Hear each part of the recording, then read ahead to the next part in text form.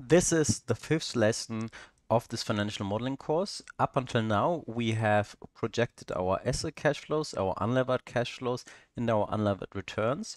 And now we're forecasting our levered cash flows. So the levered cash flows include the impact of debt financing, and we're then also calculating our levered returns.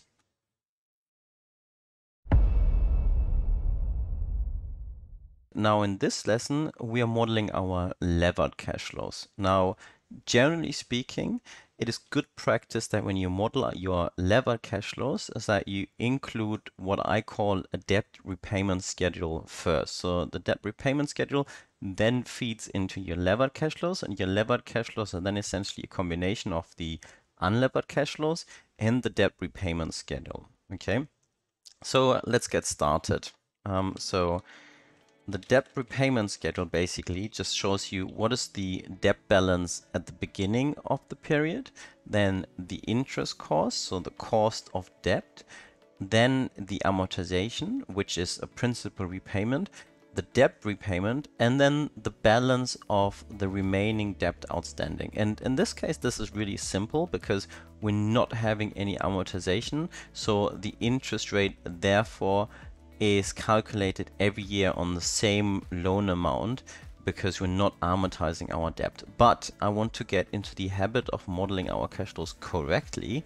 And so therefore I want to start off by modeling a debt repayment schedule. Okay. Okay, so how do we model our debt repayment schedule? Well, we start off by using the debt drawdown. The debt drawdown in this case is based on LTC, so loan to cost, which means that we apply the 50%, so the 50% LTC, on the total acquisition cost. We take the 50% and we multiply this by the purchase price. Here, by the purchase price plus RET, so real estate transfer taxes, plus due diligence cost. So we are financing our total acquisition costs, and because it's a cash inflow, we multiply this by minus 1. Now, if it was a loan to value, so a loan, so an LTV facility, we would simply just use the financing to finance our purchase price. Um, which typically in loan to value facilities based on external valuations or on the purchase price, but in this case it's an LTC facility, so we're financing the acquisition cost as well. Okay, so this is the number here. So we have a, a, total initial loan amount of 47,375 million, which we use to finance the acquisition cost. If we had a capex facility, we could also also use the capex facility to finance our capex cost. But in this case study, we're not having a capex program, so therefore we also don't have a, a capex facility. Okay.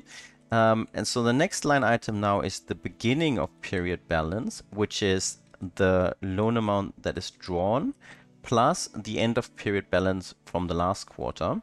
Then it's the interest cost. Okay.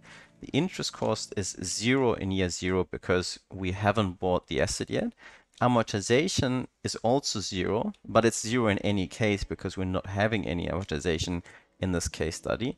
Then the debt repayment, which is modeled in a similar way to how we model our sales proceeds, because all we're saying is we're saying if the year, so here is the toggle, equals the exit year, then we're paying back the remaining loan balance, which is the beginning of period balance, okay, plus the amortization, okay, and if not it's a zero and then we multiply this by minus one. And this then gives us the end of period balance okay which is the beginning of period balance plus the amortization plus the debt repayment. And now we're in the next quarter or in the next year and here we're saying the beginning of period balance is the end of period balance from the last year okay? And now this time in year one, we actually have to pay interest. So we multiply the beginning of period balance by the 4.5% of the interest cost, sorry, 4% of the interest costs. We multiply this by minus 1 because it's a negative, so all cash outflows are negatives. and this is now our interest cost. The amortization is zero. There is no amortization. So let's just zero it out throughout. And then we copy over the formula. Let's lock um, the cell first. So if this equals this, so let's lock this. Okay, and now let's copy over the formula. And let's copy over this formula too. Okay, perfect. And so that's basically almost everything we need to know for the debt repayment schedule. And now we just drag this over and let's see that it works correctly. Okay, and it seems to work. So now what we can see here is that AMO is zero, so we just zeroed it out. Um, and then every year we're paying the interest on the beginning of period balance and then we pay back our loan in year five, which is the same year when we sell the asset. So when we sell the asset, we have to pay back our loan.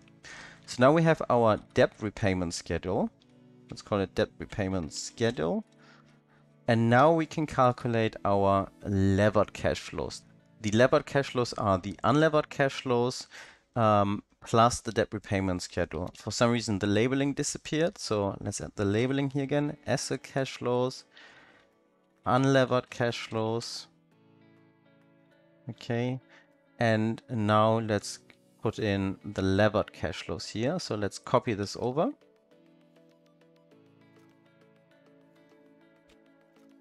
We call this levered cash flows. Okay, let's link up the dates. Okay, and now we are using, we're entering the purchase price again which we just linked back to the unlevered cash flows. Now we're including the acquisition cost, so I'm grouping the real estate transfer taxes and the diligence costs. Acquisition costs.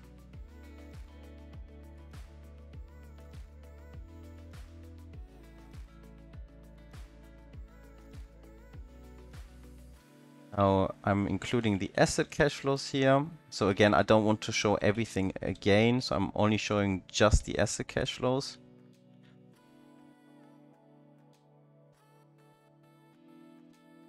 Okay. And now we can include the impact from debt financing, which is the, um, the debt drawdown, the interest, and the debt repayment. Okay, debt drawdown. We link this up to the debt repayment schedule. The interest, we link this up to the debt repayment schedule. And then the debt repayment. Okay.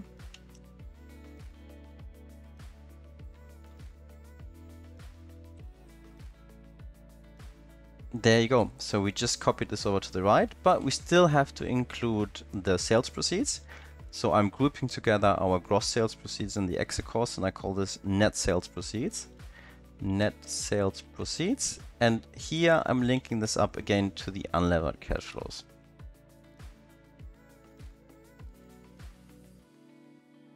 Okay. Voila. And now my net sales proceeds are here. And those are then everything I need for my levered cash flows. Put this here, so I sum everything up. I literally just sum them like this. Okay. So those are my levered cash flows. And now I need to format them correctly.